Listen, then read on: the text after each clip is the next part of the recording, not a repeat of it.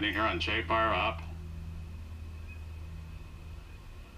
And away they go in the Ed Burke Million Futurity. KVN Corona started off well, and Plackey also came out running strongly. Here's Chance to Fire to the extreme outside. J Fire Up's trying to rally on as well as KVN Corona is coming up strongly. J Fire Up is running lights out down along the inside, but it's Ramon Sanchez, KVN Corona to win it. Chance to Fire on the extreme outside finished third behind Jay Fire Up, who was in second, but it's KVN Corona, Ramon Sanchez for Paul Jones here in the Ed Burke Million.